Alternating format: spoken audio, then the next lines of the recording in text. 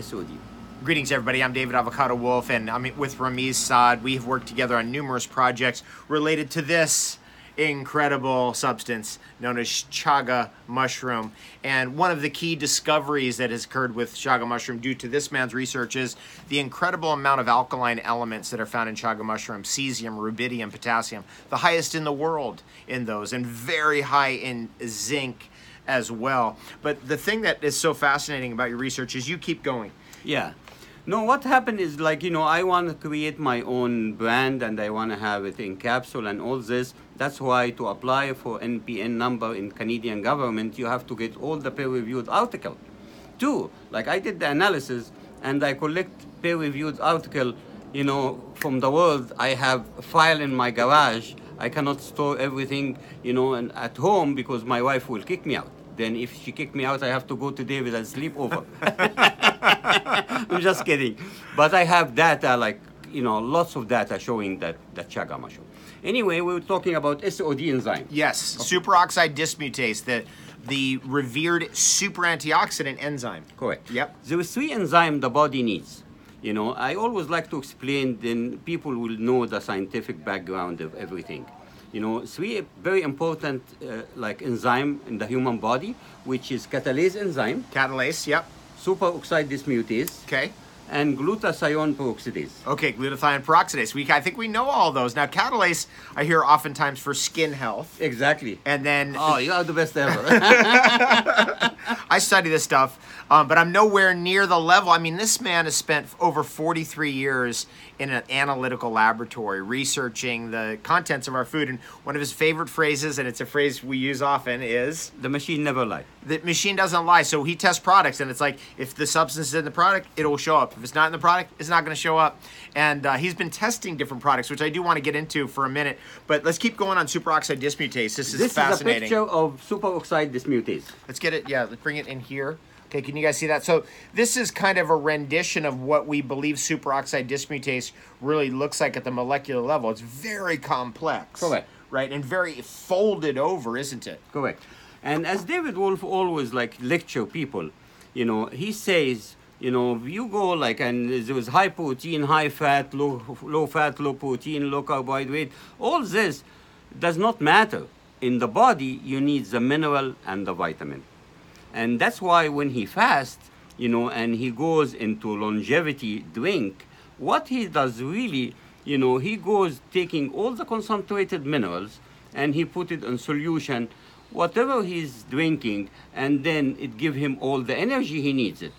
Okay, that's and basically is, electrolytes, right? Exactly. Yeah, and and that's what we found. You know, over the years of doing lots of cleanses, lots of fasting if you drink sea salt in your water, you can just keep going and going and going. You can just go without the calories.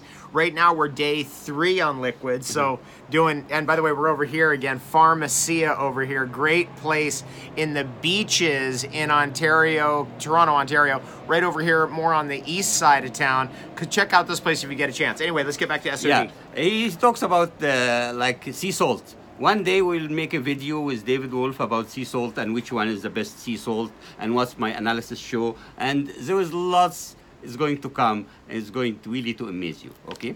Then superoxide dismutase, as you see here, it needs copper, zinc, nickel, you know, manganese, manganese and, and iron. iron. Those are different kinds, or does superoxide dismutase need all of those minerals? Or which exactly it needs all those minerals. Oh yeah. Okay. If you don't have this mineral in a good combination, you you detoxifying is nothing. Wow. Even nickel. Even nickel. you need a nickel on a balance you know because i hear often about nickel toxicity. It can be toxic yep. but that's why like you know because i do hair tissue mineral analysis. He does hair tissue mineral analysis. That's a whole fascinating subject. Yeah going, this is another yeah, subject.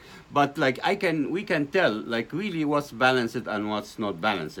But you know then if you are low in nickel we can raise it up. I have uh, tables of food which i i tell what's really happening. And as i showed you here you know this is this is just amazing to have Ramiz here with us, sharing with us this incredible information. This is the periodic table of the elements. So I want to just show you guys that you may be familiar with our mineral theory. This is our mineral theory. And over here on this side, we've got the alkaline elements. We have the noble gases. We have over here the um, halogens. Correct. I still remember Uh, these things. halogens. Oh, yeah, over the years. And the um, earth elements, rare earth elements, and We're going to talk about it today. Oh, cool. oh, Yeah, yeah. fantastic! So th- this periodic table of the elements is really a tool for understanding the minerals that we need for for healthy nutrition. Correct. I did this one, which is I call it the ace. I'm coming up with the king and the queen and the jack. And then later on, if God permit and I have long life, I hope, you know, then I can do 52 cards. Then I have the whole cards. Nice. Yeah, okay. Fascinating. Yeah, yeah. Anyway, we go back into like, you know, the analysis. We did the superoxide So dismutase. superoxide dismutase. This is the actual research here. I know it's going to be hard to read that Yeah. where you are. I'll read you what um, it says. Right here, we've got the wild Canadian Chaga capsules that Ramiz used to concentrate. So you take the wild material like this, concentrate it down into capsules, so kind of an extract, and you're looking at 192 units of, of superoxide dismutase Correct.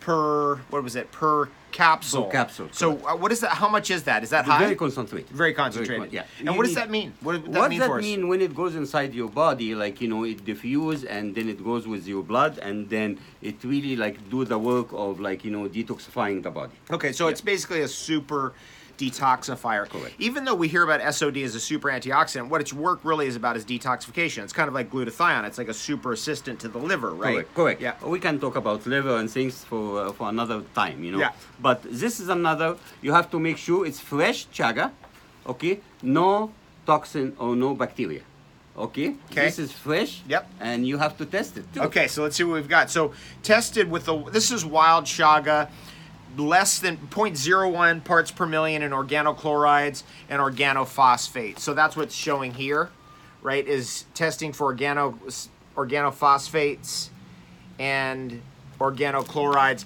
These are residues of pesticides and herbicides that are commonly used today. And what's wonderful about this province, we had talked about this earlier, is that in this province there's not very much farming, you know, beyond a certain limit. You get past a certain latitude and it's just all wild bush, as they like to say here. Good. And and that means it's uncontaminated. So the forest there, vast expanses of forest with beautiful specimens of chaga mushroom and other polypores and other amazing medicinal mushrooms out there, completely uncontaminated. Correct.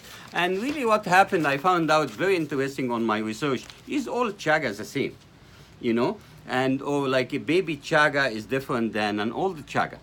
Then I tested like a baby one, which is like five years old. Okay, yeah. What what, The- you, what tell me about that? What did you find You're out? excited, huh? Yeah. Oh yeah. This is a different four type of chaga, Oh. which is different on uh, on aging, on age. Like see this. Look at the like you know, like say for example, no, this is shows that there was no like yeast right, yeah. contamination. Yeah. we did that. That's yeast uh, contamination. this Okay, so this yeah, is- was yeah the difference. This is it. Yeah, like Okay, 10 so we're getting our paperwork straight over here. Yeah. Okay, so in this, okay, so we got beta glucans, alpha glucans. We've and and then testing for other contaminants as well again. But let's talk about the beta glucans and alpha glucans. Yeah. With the more mature specimen, do you find more I beta find more. glucans? That's right. Okay, so if when it gets to this size and has been on the tree for 20 years, Correct. It's it's more. going to be more. Correct. Okay, so it's more nutritious, Correct, basically. correct. Yeah, yeah. Makes And- sense. Yeah, and I found out like you know this is uh, the same as we have in the Middle East, like you know like a gum arabic. Mm-hmm. The same technique, David. Gum arabic needs a very high temperature of hot. This needs high cold. Yeah, right. Then and all Where does gum arabic come from? It comes from a tree? from Sudan. It's Sudan, okay. Yeah. As a matter of fact, this is very interesting. Coca-Cola company. He's from Egypt, by Yeah. the way, so that's that's Yeah. in case you're wondering, like where is Ramiz from? He's well, he's living in Ontario and Toronto here, but originally from Egypt, so he knows a lot about the Sudan and a lot about the pyramids and a lot about the amazing I want to take you to Egypt, and all Egyptian, by the way, say thank you, David. And really, they kept, keep sending me like posts from Dubai and from Sudan and Saudi Arabia and We're Egypt. coming. We're coming that We way. are We're going to be coming. coming to Dubai and Saudi Arabia, and Egypt. we'll also be coming to Egypt, and we've got a lot of work to do. So One coming. day we hope like we can film on uh, the Giza Plateau. Yes. Because David, like, you know, he was talking actually about the Egyptian Giza Plateau yesterday, and uh, one day I want to take him there. It's we were talking about the casing stones that went on the outside of those pyramids. That's a whole amazing story that it just oh it just oh they fell off in an earthquake or you know we get these silly stories, but it's very very interesting the mystery of what actually happened to those casing stones because we never probably even really knew that they even existed. The ones that went outside, but that's for another story. Yeah. Okay, here what This do we have here? This is Prize winner. that okay, so Dr. Warburg, I remember him because he found out that it was anaerobic tissue that was dangerous, right? Correct. That basically when the cell de-evolves and goes to an anaerobic metabolism, then we get into trouble. And he also found out this whole connection with alkalinity, like super alkalinity, cesium, the highest in the world right here, super alkaline mineral, and its ability to destroy cancer cells. And the good things about the chaga does not have the isotope of bad cesium. That's good to. eh, Thank you for bringing Yeah, that up. yeah, yeah. Because we we've often heard about cesium. People think about it and they go, "Oh, it's radioactive or something." Correct. But that's the bad isotope. And Correct. chaga from the forest here and all over the world really contains the good isotope, the one, the alkaline one, the most alkaline element actually in the world. Correct. And this is my capsule before. Uh huh. That's- Yeah, I remember you got your that- brochure. right. Let's show real quick. This is Ramiz in his lab. Let's show you on the Oh, back yeah. here. So just so you can show, see, this is the kind of laboratory that Ramiz has been working in for 43 years. And uh, in, and he loves it. That's his love and his passion. So it's wonderful to connect with somebody who really has that analytical mind and knows that the machine does not lie, and we can get the right data so we know which products are real. Ramiz again put a chapter in this book. This is my Chaga King of the Medicinal Mushrooms book, and uh, there's an entire chapter. 142. Let the science page- talk. Yeah, here it is. Here, that right there. Science talk and all of this material really appearing for the first time ever in print. His scientific research, first time ever in print, is all in here and uh, was wonderful. And then Pierre Baumier also Correct. helped yeah, you out he say hi. I really As a miss Pierre. fact, Yeah I saw him today. Yeah.